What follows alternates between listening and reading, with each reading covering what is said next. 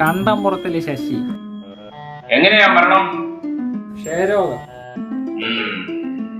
എഴുത്ത് രാജാവേ മിണ്ടാതിരുന്ന എനിക്ക് ക്ഷയരോഗം വന്ന് എന്തെങ്കിലും പറ്റിയിട്ടുണ്ട്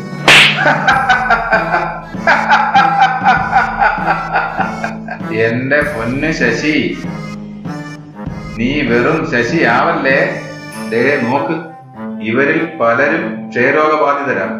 ഇവരൊന്നും മരിച്ചില്ല. ശശി മരിച്ചു. കാരണം ഒന്നേ ഉള്ളൂ. അവരൊക്കെ ക്ഷയരോഗത്തിന്റെ മരുന്ന് കൃത്യമായി കഴിക്കുന്നുണ്ട്. കണ്ടോ? നീ കിട്ടുന്ന മരുന്ന് കഴിക്കാതിരിക്കുന്നതോടൊപ്പം നല്ല തനിയടിയും വലിച്ചു കയറ്റും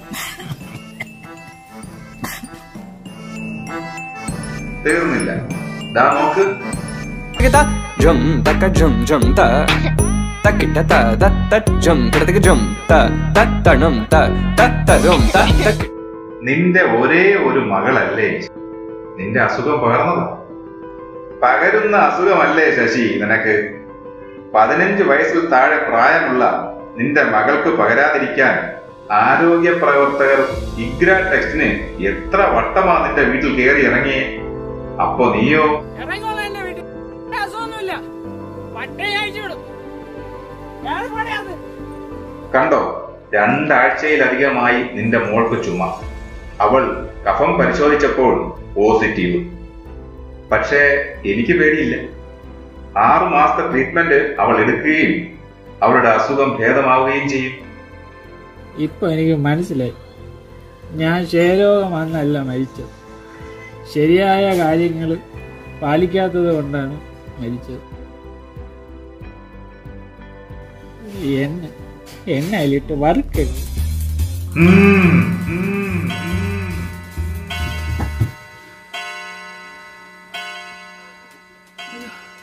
എല്ലായിട്ട് വരികല്ലേ അയ്യോ മോൾ.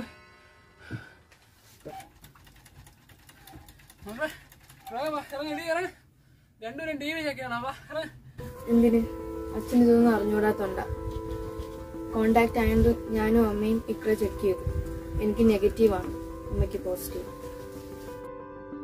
ഇഗ്ര പോസിറ്റീവ് അസുഖമൊന്നുമല്ല ടി വി വരാതിരിക്കാനുള്ള മരുന്ന് ഞാൻ തുടങ്ങി. ശശി കൃത്യമായി മരുന്ന് കഴിക്കുകയും പുകവലിയും മദ്യപാനവും നിർത്തുകയും ചെയ്താൽ ടി ബിയെ നമുക്ക് തോൽപ്പിക്കാം. ഈ കുടുംബത്തോടൊപ്പം രാഷ്ട്രവും ജയിക്കും. ടി ബി ഒരു മാറാരോഗമല്ല മരുന്നുള്ള രോഗമാണ്.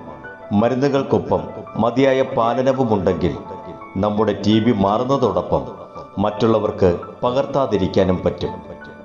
ടി ബിയെ തോൽപ്പിക്കാം. രാഷ്ട്രം ജയിക്കും.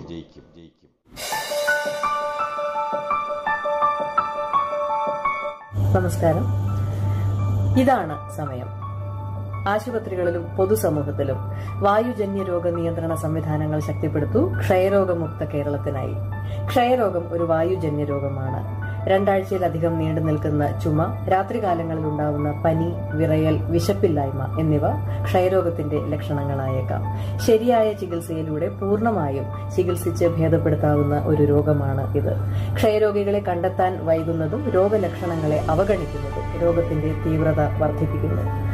തുമ്മുമ്പോഴും ചുമയ്ക്കുമ്പോഴും വായും മൂക്കും മൂടി വയ്ക്കുന്നതിലൂടെയും പൊതുസ്ഥലങ്ങളിൽ അലക്ഷ്യമായി തുപ്പാതിരിക്കുന്നതിലൂടെയും നമുക്ക് ക്ഷയരോഗത്തിനെതിരെ പ്രതിരോധം തീർക്കാം. ഇതാണ് സമയം കൈകോർക്കാം ക്ഷയരോഗമുക്ത കേരളത്തിനായി. ഓരോ ജീവനും വിലപ്പെട്ടതാണ്. Thank you